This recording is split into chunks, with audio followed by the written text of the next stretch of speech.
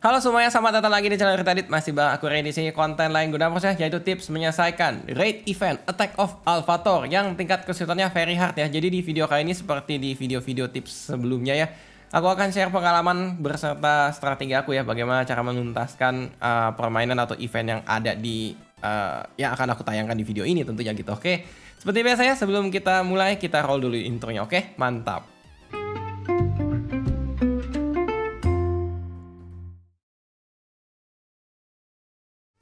Oke, kita langsung klik aja si versus ya, terus kita klik si boss info di bawah nih, yaitu si Very Hard ya. Kita akan ditantang untuk melawan Alphator ya, sebagai boss dari permainan ini.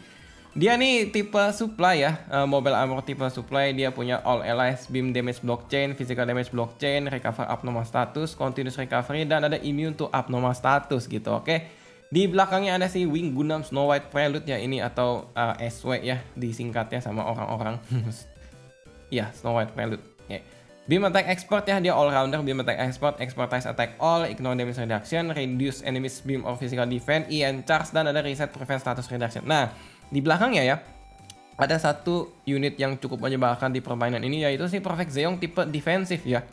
Ini dia ada area attack front, ada power up beam or physical defense, dan ada reduce beam damage gitu, oke? Okay? Terus ada beam damage block, ada reduce enemies beam or physical attack, dan ada resistance stun. Nah, gara-gara ada si Zeong ini, Perfect Zeong ya. Jadi dia akan mempertebal pertahanan uh, tim lawan ya, khususnya di bagian attack gitu. Jadi aku rekomendasikan teman-teman untuk bawa penyerang yang sifatnya physical attribute. Ya memang di notice dari game ini juga udah kasih tipsnya gitu. Bawalah unit-unit yang menyerangnya physical attribute gitu, oke? Okay?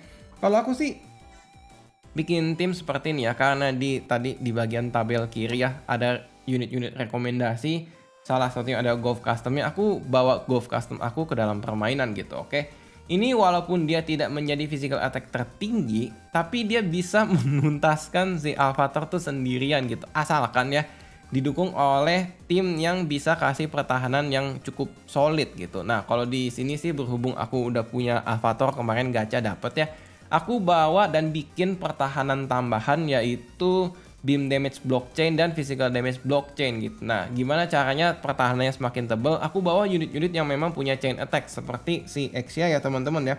Exia all rounder terbaru ini di super move-nya dia ada chain attack gitu. Jadi kalau misalkan dia spam super move, mudah-mudahan pasti kena ya karena 100% hit attack dan bisa menambah chainnya dengan sangat cepat gitu. Oke. Di belakangnya aku juga ada si Super Fulminant Axis Angel version. Aku bawa dia pakai S move-nya juga karena nih S move-nya dia selain ada chain attack dia juga punya reduce physical defense gitu. Jadi mudah-mudahan berhasil mengurangi pertahanan uh, physical musuh-musuhnya dan bisa mendeliver damage physical yang sangat besar gitu oleh si Golf Custom gitu ya.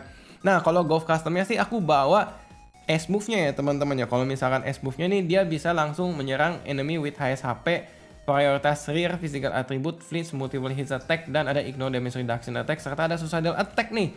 Jadi mudah-mudahan damage-nya ini bisa sangat besar. Apalagi kalau misalkan HP-nya di bawah uh, eh, 30% ya dia ada boost rate dari suicidalnya tuh sebesar 300% bisa jadi gede banget pukulannya dia oke? Okay? nah di belakangnya aku bawa uh, Strike Freedom Gundam ya. Ini untuk ya menambah damage dan inilah ya increase critical damage 100% critical increase beam damage increase physical damage gitu. Pokoknya ini untuk mendukung ya status-status tambahan lah gitu di belakangnya lagi aku ada si Sandai Megudam Dai Shogun yang ini aku pakai S move-nya mudah-mudahan S move-nya juga bisa berkontribusi menambahkan chain gitu oke okay?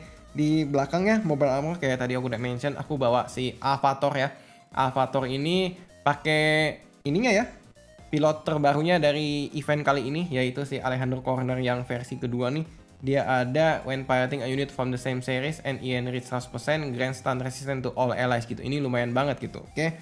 nah ini uh, teman-teman bisa cek ya aku pakai MA decknya seperti ini teman-teman. Jadi kalau misalkan si Alphator yang ini strategi efek yang uh, subnya ya activate at 5 second after ally MA join battle with the exception of battleship reduce enemies level probability 40% ada sebuah kemungkinan kita menurunkan level musuh-musuhnya jadi secara tidak langsung menurunkan status-status bawaannya mereka gitu. Jadi mudah-mudahan damage yang kita deliver nih mungkin bisa jadi sakit banget gitu. Oke itu aja yang bisa aku share yuk kita langsung play aja ya. Mudah-mudahan di game kali ini bisa berhasil satu putaran aja gitu oke? Okay? yuk kita mainin. Sekali lagi. Gitu ya teman-teman. Jadi untuk event yang ini sih aku rekomendasiin teman-teman kalau misalkan punya unit physical attribute yang bisa nyerang langsung ke belakang ya. Apalagi nyerangnya bisa langsung ke target si Avatar. Boleh banget ya dibawa aja. Atau mungkin teman-teman kalau belum punya bisa bawa physical attribute yang serangannya sifatnya global attack atau area attack rare gitu. Jadi ya mudah-mudahan si Avatarnya bisa kegebuk ya.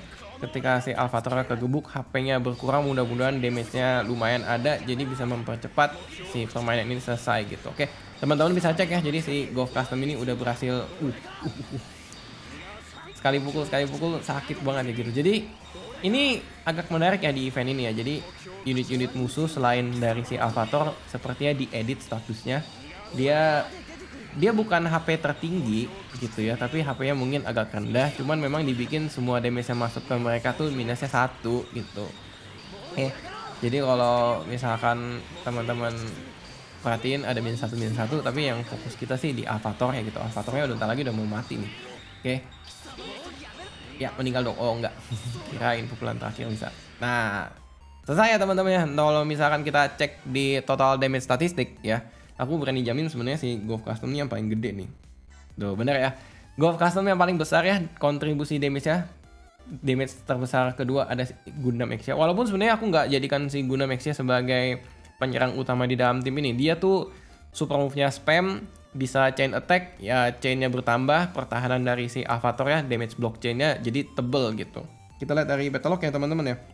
Golf Custom di awal sebelum Avatar muncul dia ada pertahanan untuk dirinya sendiri ya yaitu Perry.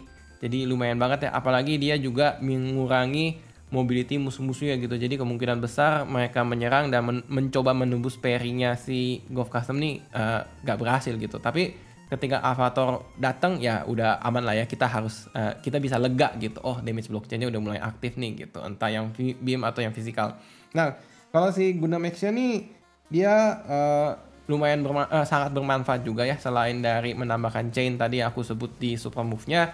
Dia juga ada startup skillnya ini ya reduce beam defense, reduce physical defense gitu. Jadi mengurangi defense musuh berarti damage uh, physical yang diberikan oleh Golf Custom bisa jadi sangat sakit gitu. Oke okay. itu aja sih yang bisa aku share ya terkait strategi aku memainkan si very hard ya. Ini kelar sendirian oke okay, dalam waktu yang cukup singkat ya.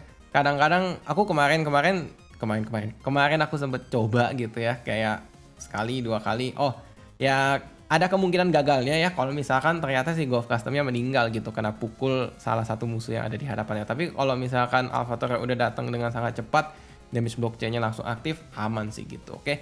Mungkin di luar sana teman-teman ada yang punya strategi yang berbeda dibanding video ini mau di-share di kolom komentar boleh banget ya pakai unit apa, strateginya seperti apa, jelasin aja ceritain panjang atau pendek terserah kalian ya. Tapi kalau misalkan kalian merupakan komentator pertama ya yang berkaitan dengan strategi si Very Hard, aku akan pin ya biar bisa langsung dibacain oleh para penonton lainnya gitu. Oke. Thank you ya buat teman-teman yang udah nonton dari awal sampai akhir. Aku akan tunggu kehadiran kalian di live streaming lain guna proses setiap hari Rabu jam 10 malam waktu Indonesia Barat. Kalau misalkan video ini tayang di hari Rabu berarti ya hari Rabu malam ini kita bisa seru-seruan bareng bahas si lain guna ya menuju akhir tahun bakal ada event apa gitu di dalam game ini gitu. Oke. Seperti biasa ya, sebelum aku matiin uh, videonya, aku akan roll dulu outro ya. Semoga setelah menonton tayangan ini hari kalian menyenangkan. Oke, mantap.